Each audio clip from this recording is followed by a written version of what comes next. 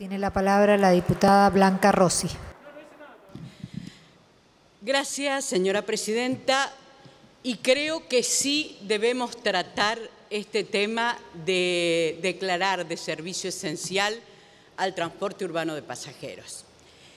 Y recién el diputado Olmedo me hacía recordar que la línea 40, la 44 que él dice, era una línea verde que iba a un barrio muy conocido de Córdoba, el barrio Cerro de las Rosas. Pero dirigiéndonos ahora a este tema en concreto y de acuerdo a lo que pedía el diputado Mestre, que nos pongamos en los zapatos, en el lugar de los usuarios, quiero ponerme en ese lugar, porque fui usuaria del transporte. Cuando los derechos del más fuerte prevalece sobre los derechos de los trabajadores más débiles, gremialmente hablando, eso es injusto. Y esto es lo que ha pasado en Córdoba.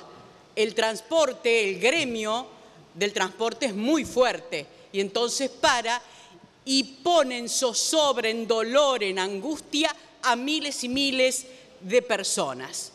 El caso de los estudiantes, había elección en la Universidad de Córdoba, tuvieron que desdoblarla porque no podían llegar eh, gracias a este paro.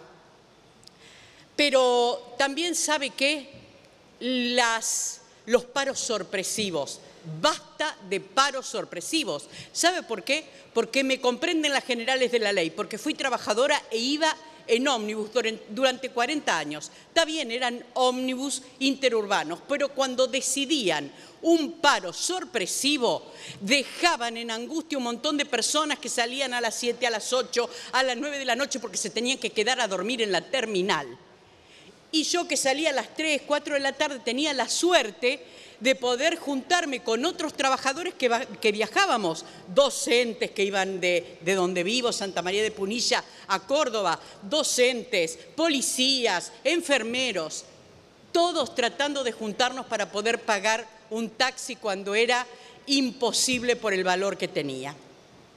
Por eso sí es necesario estas guardias mínimas y no es imposible. ¿Sabe qué? Porque los primeros de mayo me tocaba trabajar también y el transporte ponía horarios especiales que no eran los mismos que los feriados, horarios especiales donde uno tenía que esperar varias horas, pero lo esperaba, porque el trabajador también tiene la libertad de elegir si hay huelga. Perdón, diputada, la puedo interrumpir.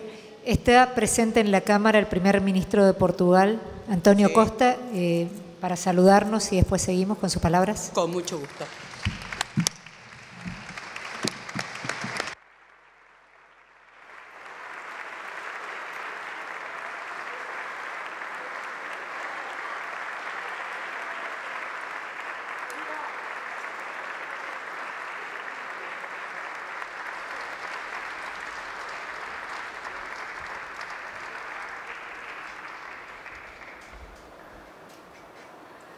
Disculpe, diputada, siga con su tiempo.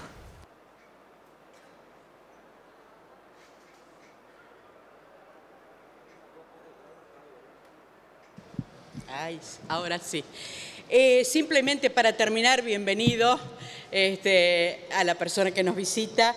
Y quería concluir diciendo que sí los trabajadores esperábamos, porque tenemos la libertad de elegir si queremos ir a trabajar y que nos pongan esos, servicios especiales en caso de paro. Porque con este proyecto no se quiere coartar la libertad de huelga, sino simplemente reglamentar, ordenar para que otros trabajadores, otras personas que tienen que ir al médico, que tienen que ir a estudiar, como decía el diputado Mestre, puedan hacerlo. Estos servicios especiales del primero de mayo nos hacían esperar muchísimo, pero lo esperábamos con gusto porque habíamos podido ir a trabajar.